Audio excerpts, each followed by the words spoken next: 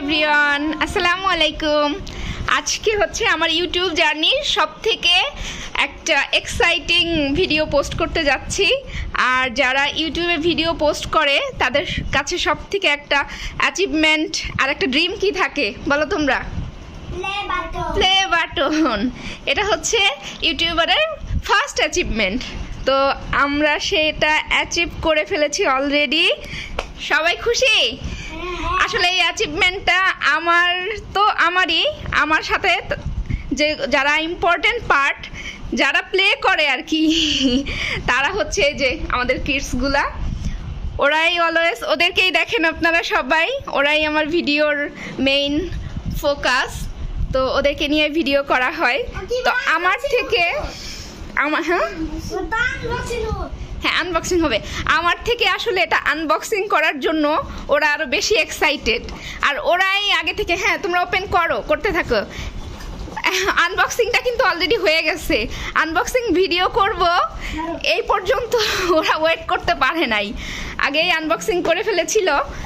আর আপনারা যারা যারা ইউটিউব প্লে বাটন পেয়েছেন, তারা তো জানেনই, প্রথমে একটা সার্টিফিকেশন থাকে। দেন হচ্ছে এই যে আমাদের প্লে বাটনটা কি লেখা আছে? প্লে বাটনে কে পড়তে পারবে? আনিসাস ফ্যান্টাসি ওয়ার্ল্ড আনিসা আনিসাটা কে? কে আনিসা আনিসার কল্পনার জগৎ। তো তোমরা কি হ্যাপি তোমরা কিছু বলো। আদিয়াত কিছু বলো এক এক করে বলো। আদিহাত এমনিতে অনেক দুষ্ট কিন্তু আজকে সাই ফিল করতেছে। আর তো উঠে চলেই গেছে। লিয়ান তো তুমি কিছু বলো বাবা? ভালো লাগতেছে? লেবাটন পে?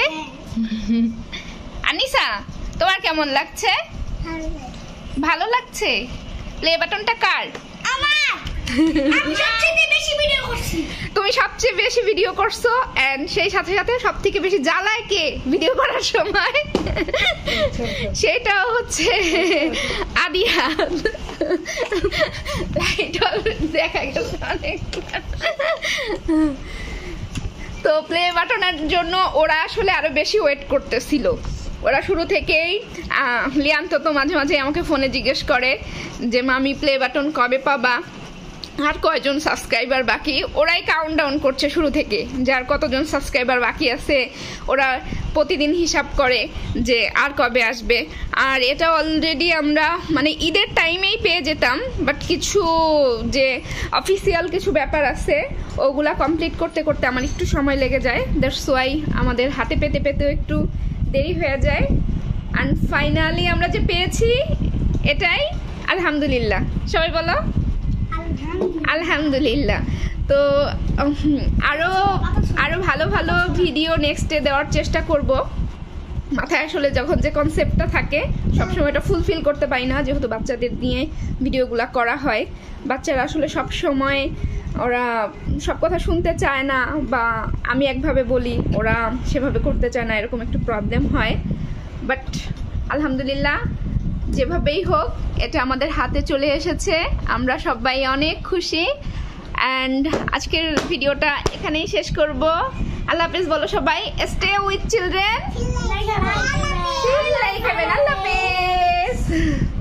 প্লে বাটনের